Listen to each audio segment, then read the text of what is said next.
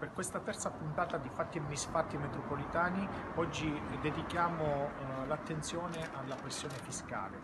Pressione fiscale che nella provincia di Milano si è fatta sentire anche tanto negli ultimi anni è eh, uno dei paesi eh, premiati da Regione Lombardia eh, dalle ultime stime fatte anche eh, con ANCI eh, è il risultato Tribiano. Tribiano che se lo limitiamo solo alla provincia di Lodi e provincia di Milano risulta essere al terzo posto come eh, paese con la più bassa pressione fiscale.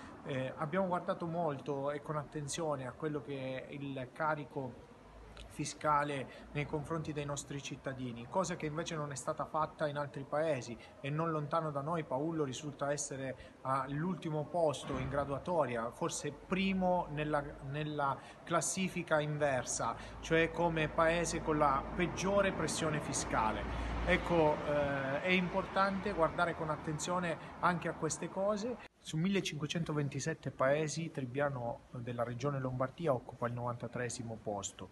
Bene, eh, come abbiamo fatto in tutti questi anni, abbiamo avuto il riconoscimento negli ultimi sei anni eh, da parte di Regione Lombardia e siamo orgogliosi eh, di questo primato, ma perché? Perché abbiamo guardato con attenzione alla pressione fiscale eh, cercando di eliminare gli sprechi.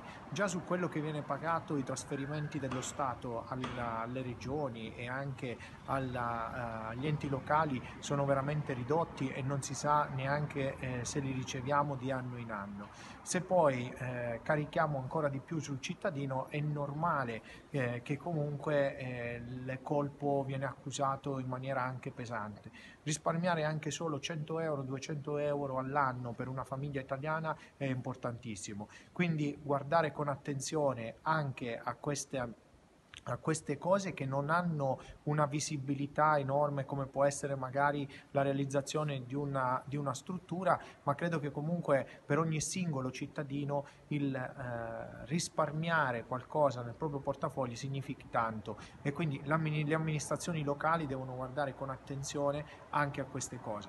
Per oggi ritengo che sia eh, giunto il momento di salutarci, ci vedremo alla prossima puntata di Fatti e Misfatti.